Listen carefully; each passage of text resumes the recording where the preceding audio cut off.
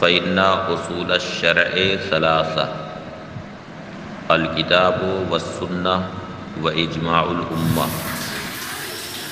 सुम्मल अदाउल महज मा युद्दीहिल इंसान बेवस्फ़ ही अलामा शुरया यहाँ से अदा की तकसीम करते हैं तो इब्तदान अदा की दो किस्में निकलती। अदाए महज और अदा शबीह बिल क़ज़ा। फिर अदाए महज की दो किस्में निकलती। अदाए कामिल और अदाए कासिर। अदाए कामिल का मतलब ये है कि मामूर बही की मशरूዒयत जिस वस्फ़ के साथ हुई है, उस वस्फ़ के साथ इंसान उसे अदा कर दे, ये अदाए कामिल। मसलन, नमाज़ को जमात के साथ अदा करना अदाए कामिल।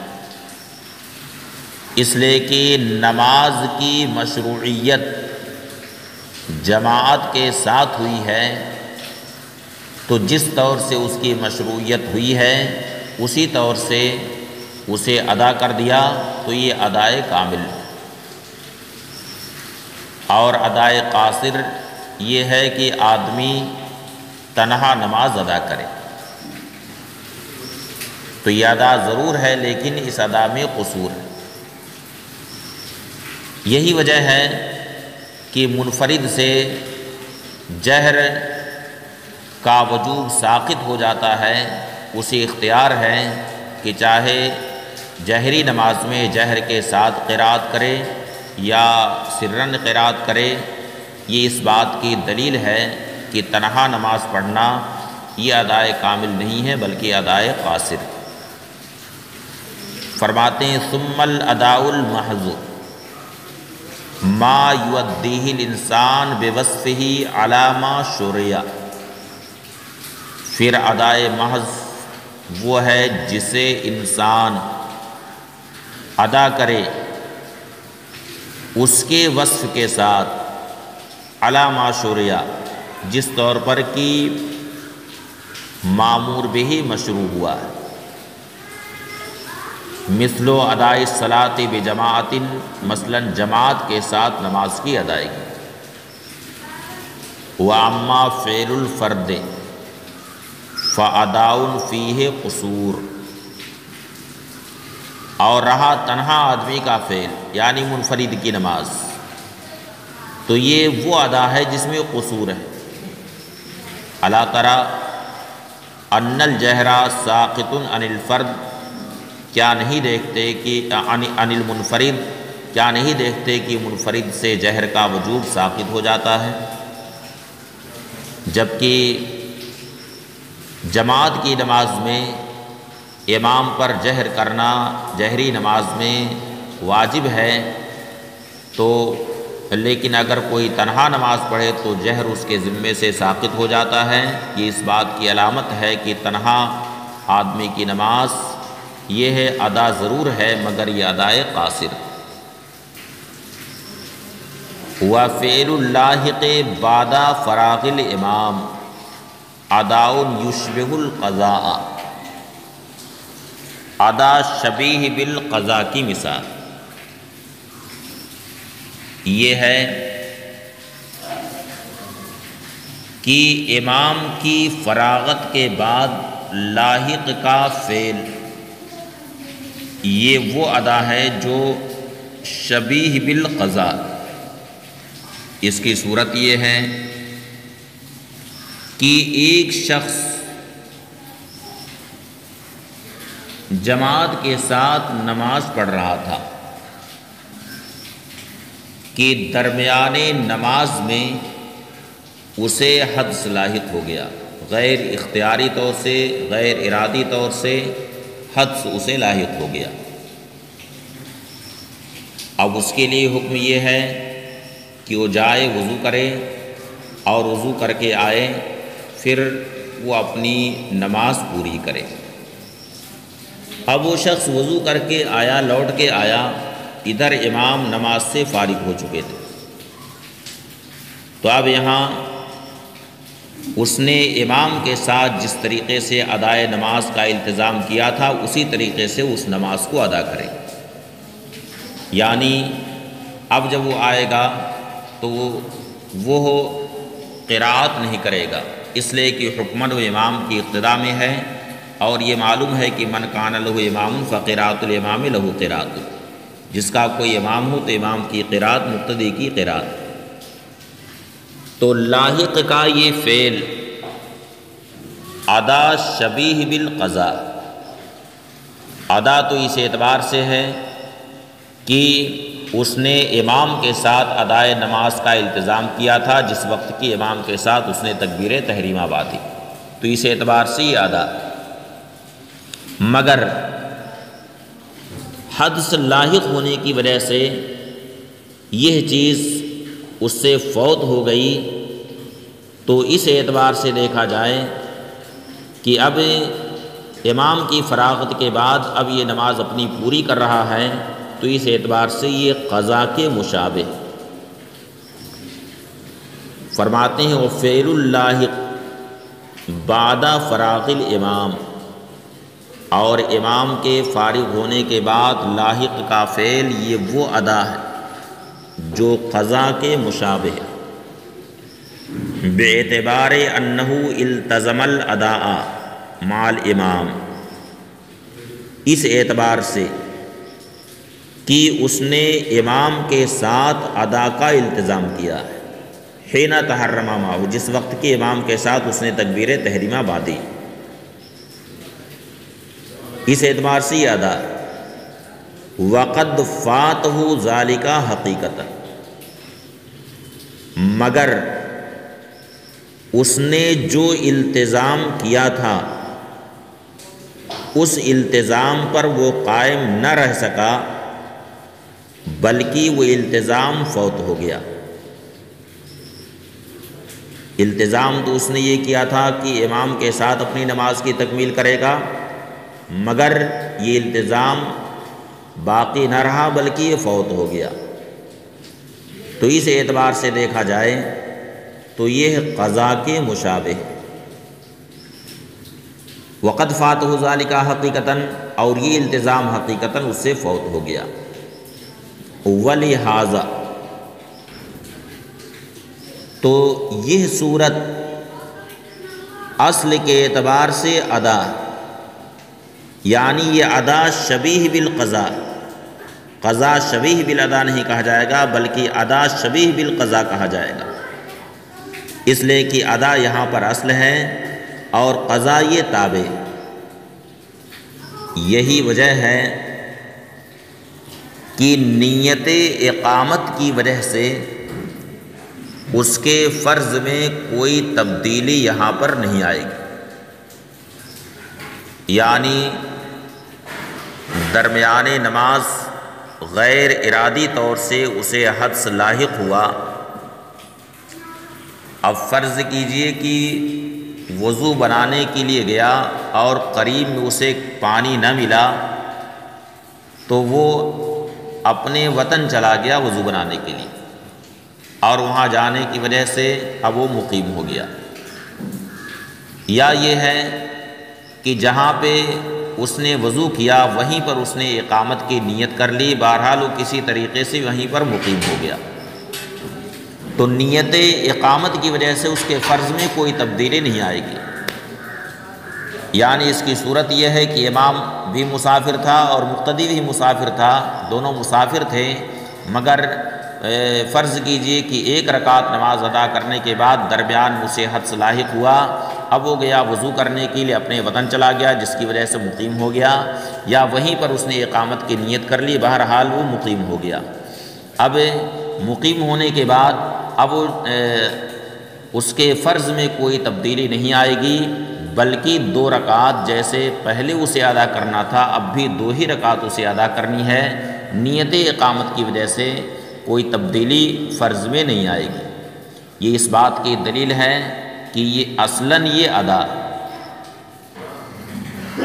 कमा लो सारा कज़ान महजन बिलफ़ुआत मिसाल के तौर से हालत सफ़र में जो नमाज़ें फ़ौत हो गई हैं तो अब उनकी कज़ा उसे करनी है तो कज़ा दो ही रकात करनी है। ये नहीं है कि हालत इकामत में दो के बजाय उसकी कज़ा चार हो जाए।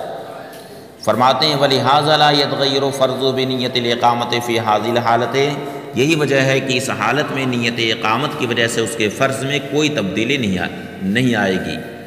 कमाल और सारा क़ज़ान महजन बिलफ़ुआत जैसे कि फ़ौत होने की वजह से वो क़ज़ाए महज सुम्मा वजिदल मुगैर फिर मुगैर पाया जाए।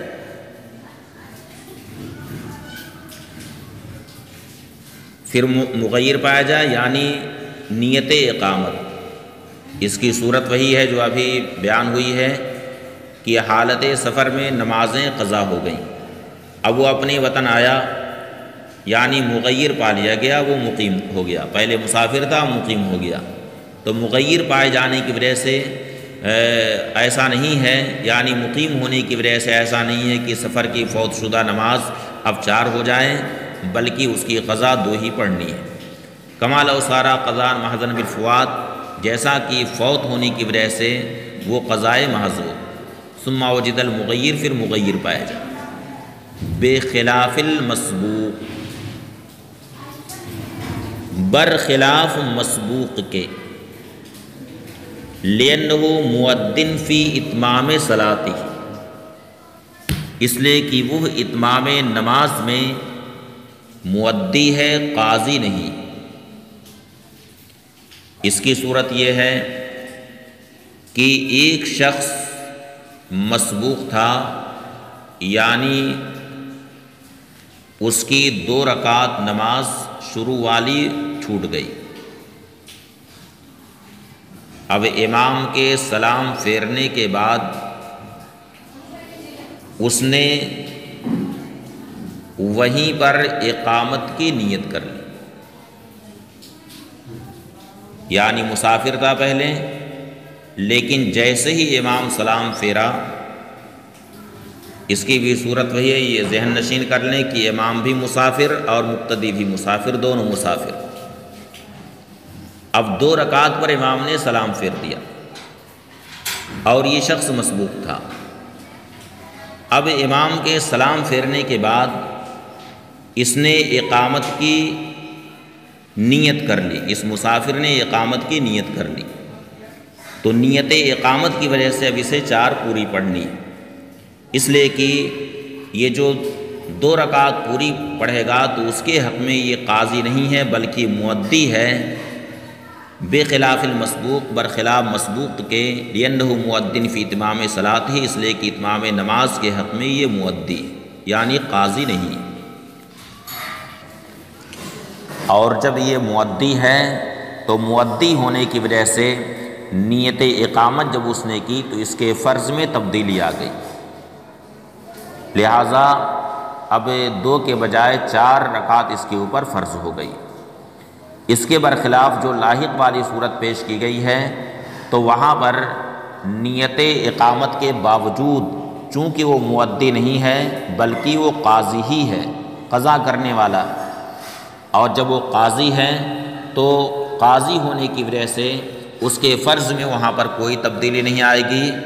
जिसकी मिसाल पेश की गई है कि हालत सफ़र में अगर नमाज़ें कज़ा हो गई हों, तब मुकीम होने के बाद उनकी जब वो कज़ा पढ़ेगा तो इस सूरत में जिस तौर से सफ़र की नमाज़ है, यानी दो दो की कज़ा, दो ही पढ़ेगा। ये नहीं है कि इकामत की वजह से उसके फ़र्ज़ में कोई तब्दीली आए। बल्कि दो की दो की जगह पर दो ही रहेगी। तो मालूम ये हुआ कि जहाँ पे काजी होगा तो काजी होने की वजह से फ़र्ज़ में कोई तगैर नहीं आएगा, कोई तब्दीली नहीं आएगी, और जहाँ पर मुद्दी हो, वहाँ पर फ़र्ज़ के अंदर तब्दीली आ जाती है तगैर आ जाता है। इसलिए मसबूक पूरी नमाज़ पढ़ेगा, जबकि लाहिक पूरी नमाज़ नहीं पढ़ेगा। वल कज़ाओ नवान क़ज़ाउन बेमिसलिन माकूल कमा ज़करना व बेमिसलिन गैर माकूलिन कलफिदियत फ़ी बाविस सौम। यहाँ से क़ज़ा की तकसीम करते हैं। यहाँ पर भी वही सूरत है कि क़ज़ा की असालतन दो किस्में निकलती एक क़ज़ाए महज़, दूसरी वो क़ज़ा जो फ़ी मानल अदा बलफ से दीगर कह लीजिए, अदा के मुशाबे। क़ज़ाए महज़, चूँकि क़ज़ा की तारीफ़ी है, मिसले वाजिब को अदा करना। क़ज़ाए महज का मतलब है कि जिसमें किसी भी तरीक़े से अदा का माना ना पाया जाए। अब उसकी दो किस्म है, क़ज़ा बमिसल माकूल और क़ज़ा बमिसल गैर माकूल। क़ज़ा चूँकि नाम है, मिसल वाजिब को अदा करना। तो वाजिब का जो मिसल होता है, उस मुमासलत का इदराक कभी अक्लो क़यास से हो जाता है।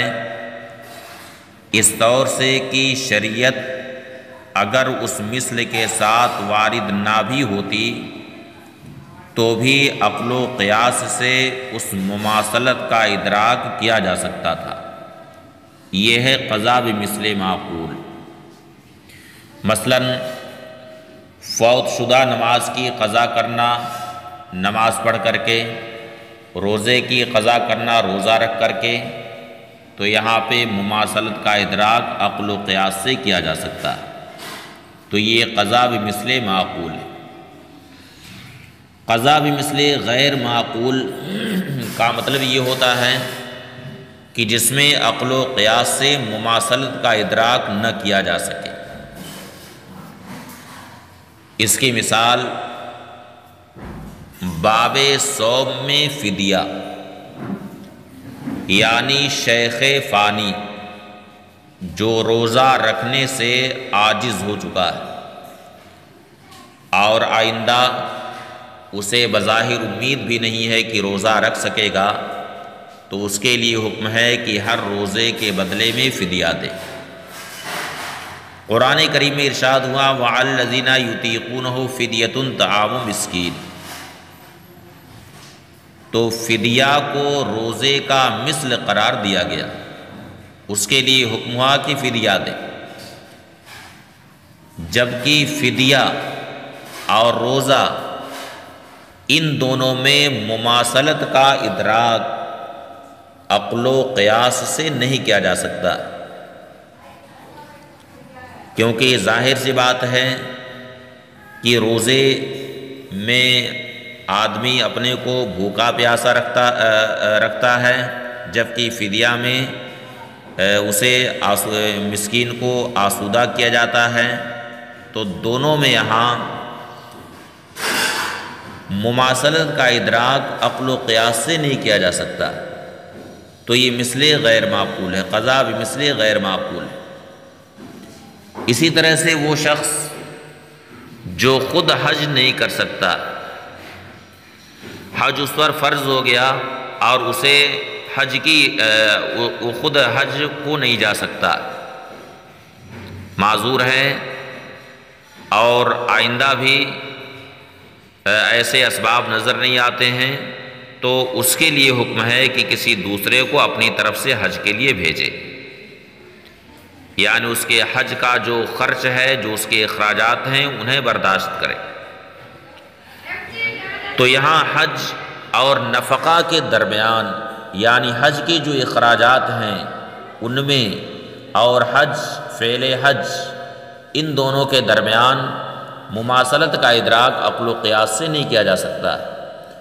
क्योंकि ज़ाहिर है कि हज मखसूस अफ़ाल की अदायगी का नाम है, जो आराज के कबील से हैं और नफ़ा ये जवाहिर के कबील से है तो यहाँ पर भी दोनों के दरमियान अफलो से मुमासलत का इदराक नहीं किया जा सकता। है तो ये भी मिसल गैर माकूल है। फरमाते हैं, वल क़ज़ा नौआन, क़ज़ा की दो किस्में क़ज़ा बेमिसल बेमिसल माकूल, क़ज़ा बेमिसल माकूल। कमा करना जैसा कि हमने बयान किया। अब मिसलिन गैर माकूल, और कज़ा बेमिसलिन गैर माकूल, यानी ऐसे मिसल से कज़ा करना जो गैर माकूल यानी उसका इदराक अक्ल क़ियास से न किया जा सके। कल फ़िदियत फ़ी बाब सौम फ़ी हक़ी शेख फ़ानी जैसा कि शेख फ़ानी के हक़ में बाब सौम में फ़िदिया व हजाजिल गैर बेमाल ही और अपने माल से किसी दूसरे को हज कराना सबता बिन से। इन दोनों मिसलों का सबूत नस से हुआ है। वला नाकिलमासलता बैन सोम वलफिदिया और रोज़ा और फिदिया के दरमियान हम मुमासलत का इदराक अपनी अक्ल से नहीं कर सकते। वला बैन हज व नफ़ा और हज और नफ़ा के दरमियान भी हम मुमासलत का इदराक अपनी अक्ल और अपने क़यास से नहीं कर सकते। लाकिन नहू यह तमिलो अयकूना मालूलन। यहाँ से मुसन्फ़ एक सवाल का जवाब देते सवाल ये है कि शेख फ़ानी के लिए रोज़ा में जो फ़िदिया देने का हुक्म हुआ, इसको आपने बताया कि यह फ़िदिया मिसले गैर माकूल है, जिसका इदराक अक्ल क़यास से नहीं हो सकता। और जब इसका इदराक अक्ल क़यास से नहीं हो सकता है तो चाहिए ये कि इस हुक्म को यहीं तक महदूद रखा जाता इसी के साथ ख़ास रखा जाता, यानी फ़िदिया का हुक्म रोज़े ही के साथ ख़ास होता, और ये हुक्म नमाज़ तक मुतदी ना होता। लेकिन हम देखते हैं कि नमाज़ में भी आप हुक्म यही देते हैं कि एक शख्स के ज़िम्मा कुछ नमाजें हैं, जिन्हें वो अदा नहीं कर सका। अब उसने अपनी मौत के वक्त वसीयत की कि हर नमाज़ के बदले में फ़िदिया दिया जाए। तो अब वारसीन पर लाजिम है कि उसका फ़िदिया अदा करें। यानी मैत का जो माल है, उसके माल से उसका फ़िदिया दें।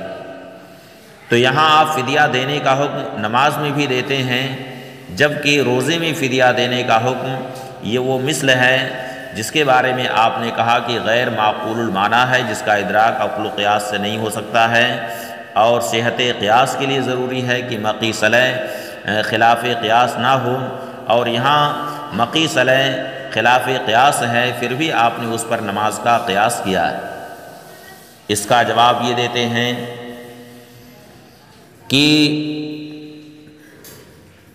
रोज़े में जो फ़िदिया देने का हुक्म आया है, उसमें जहाँ ये अहतमाल है कि हुक्म रोज़े ही के साथ ख़ास हो, वहीं ये भी अहतमाल है।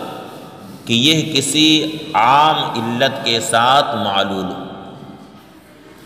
यानी ऐसी इल्लत के साथ वो हुक्म मालूल हो जो इल्लत रोज़े को भी आम हो और नमाज़ को भी आम हो। और वो इल्लत अज्ज़ है, यानी आजिज़ होना।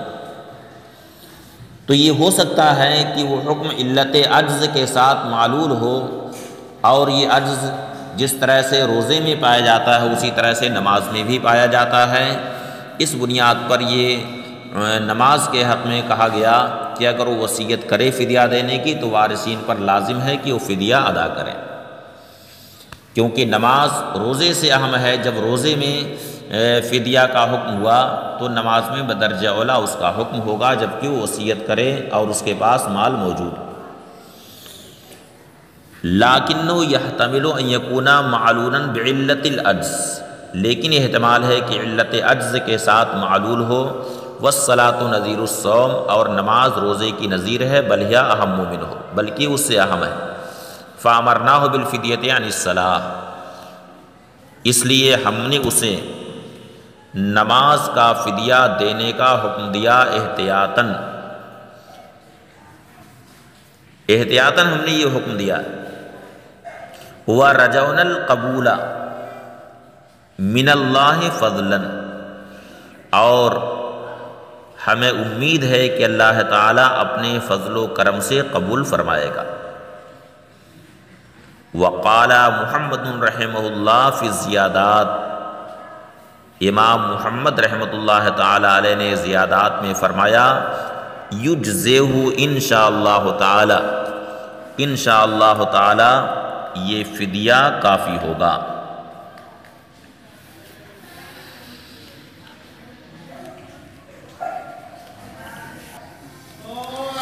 हासिल ये हुआ कि क़ज़ाए नमाज़ में जो फ़िदिया का हुक्म हुआ, वो क़यास की वजह से नहीं, बल्कि एहतियात की वजह से। यही वजह है कि इमाम मोहम्मद ताला ने इन ताला इस मौके पर फरमाया और ये कहा कि इन ताला उसके लिए ये काफ़ी होगा।